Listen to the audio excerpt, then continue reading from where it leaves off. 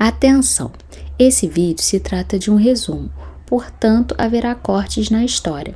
Os cortes e comentários no decorrer do vídeo são essenciais para o cumprimento das normas e diretrizes da plataforma. Espero que vocês gostem e vamos ao vídeo. Quem será essa hora? Boa noite. E se eu posso falar com você? Eu soube que você tá grávida, é verdade? Tu faz alguma diferença? Pra você pode não fazer diferença nenhuma, mas pra mim faz muita. Eu quero que você interrompa essa gravidez. Você tá pedindo para eu tirar o nosso filho? Estou. Gente, e o Rodrigo, que foi procurar a Nice envenenado pela Paula, claro, né? Só para propor a pior coisa do mundo para uma mulher. Dessa vez, essa atitude dele não tem perdão, não dá para perdoar. Adorei a bofetada que a Nice deu nele. Achei que foi até pouco o que ela fez. Esse filho é parte de um plano muito bem arquitetado para impedir que eu recomece minha vida com a Paula. Inferno, você e a Paula! Você quer que eu tire o nosso filho porque ele é um empecilho para você recomeçar sua vida com aquela piranha? Você quer que eu destrua a única coisa bonita que restou do nosso casamento? Sei onde é que eu tava com a cabeça quando eu me apaixonei por você. Tudo que o Rodrigo faz, fala e pensa é sobre a Paula. Parece que ele não tem opinião nem pensamento próprio. Tudo está ligado a ela. Impressionante. Isso é doentio, vocês não acham? Uma relação assim não é saudável para ninguém.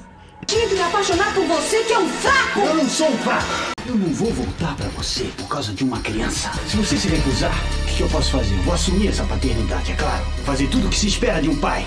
Essa criança seja um motivo para nossa reconciliação, porque não será!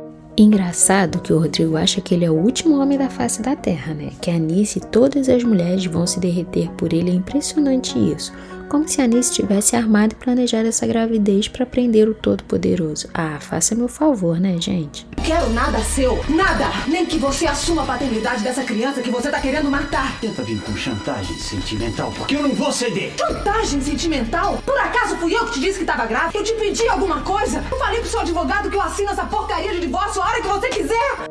Gostei mais uma vez que a Nancy jogou na cara dele que não quer nada dele e que assina o divórcio quando e onde ele quiser. Até porque, né, gente, depois que um homem é capaz de pedir à própria esposa que não tem o filho deles, não tem mais por que continuar com uma conversa, né? Como é que você pode me acusar de fazer chantagem sentimental? Isso, por que, que você Sai daqui! Some da minha vida! Eu vou sofrer, mas eu vou te esquecer, Rodrigo. Todos os dias eu vou te esquecer um pouco. Você tá passando. Não toque em mim! Gente, para vocês verem o quanto o Rodrigo é fraco e sem personalidade, porque ele chegou cheio de marra e todo dono de si falando isso e aquilo, e agora que tá vendo a Anice passando mal, quer ajudar. Ah, dá um tempo, né? Sai daqui! Seu Augusto, Dona Alzira! Some daqui! Vai, tira esse homem Não daqui! tá passando bem. Eu não faço isso. Não, pode deixar. A gente traz aqui, sabe? Ela tem família. Eu levo ela pai, pro hospital. Não, é. Nós fazemos isso. Ela tem pai, tem mãe, tem irmão.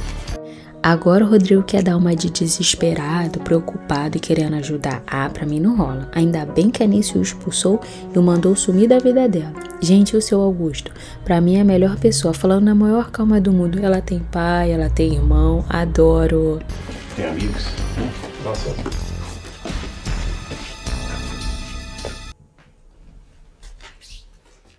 Ah, não. Eu não acredito que você teve coragem de procurar nisso pra propor essa monstruosidade. Eu fiz. Eu fiz isso. Onde é que você tá com a cabeça, Rodrigo? Ah, Ricardo, até parece que você não sabe onde ele estava com a cabeça, né? Ele estava envenenado, como sempre, pela Paula. Sempre a Paula. Que mulherzinha ardilosa e maquiavélica, né, gente? A Anice te adora. Você, você não vai encontrar nunca uma mulher que te ame, que seja tão fiel. Rodrigo, certo? Ela pode ser tudo isso. Mas ela também é responsável pela morte do papai. Eu quero que vocês não se esqueçam disso. Queria só esclarecer uma coisa. Você foi lá por livre e espontânea vontade ou foi a Paula que te pressionou? Porque eu achei muito chato saber disso através da Lígia. Gente, todo mundo pode mencionar as qualidades da Nice, o quanto ela o ama, tudo que ela fez para ficar com ele, mas nada disso vai adiantar pro Rodrigo, até porque ele precisa de um motivo para desprezar e humilhar a esposa dele, simples assim. Tô tentando dizer, pelo amor de Deus, é o que eu fiz com a Anice não se faz. Foi horrível. Eu Mas ela também não é nenhuma santa. Rodrigo, nunca ninguém disse que ela era uma santa. Mas o fato é que eu amo a Paula. Isso já bastaria para que vocês se colocassem do meu lado. Ah, agora depois que ele fala aquele monte de barbaridades para a esposa e mãe do filho dele, que ele se conscientiza que o que ele fez foi horrível só agora, né? Como se o arrependimento dele fosse valer de alguma coisa. Porque a única coisa de verdade que preocupa o Rodrigo é o amor que ele sente pela Paula. Só isso que preocupa ele. Que assim a gente livra você de você mesmo. Eu amo a Paula. Depois de tudo que ela aprontou, você continua dizendo que ama a Paula! Ah, todo amor é insano, Estela. Mas em relação a Alice, o que, que você vai fazer? Não sei, dar um nome à criança, assumir essa criança. Uma situação legal. Isso não é nenhuma deferência. A lei te obrigaria a isso. A Estela já é doidinha, mas nem ela tem paciência para escutar as asneiras que o Rodrigo fala quando se refere ao amor que ele sente pela Paula.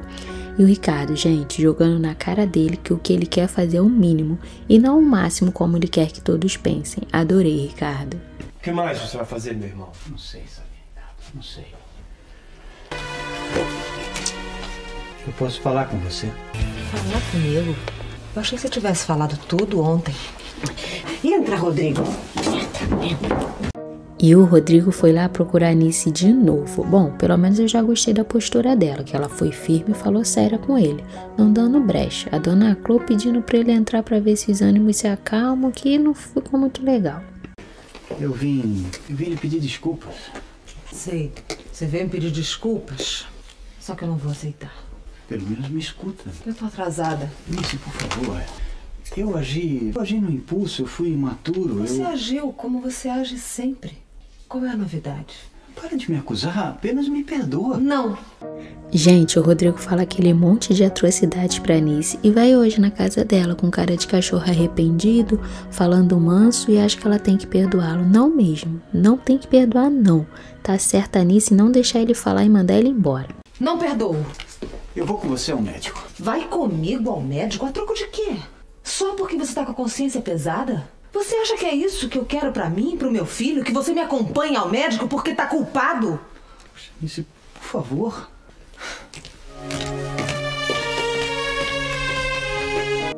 Gente, adorei a postura da Anice agora, dizendo que não perdoa, que não quer o Rodrigo perto dela e do filho, e a cara dele pedindo perdão foi a melhor coisa. Agora só espero que a Anice não dê para trás e perdoe o Rodrigo, né? Porque ele realmente não merece perdão.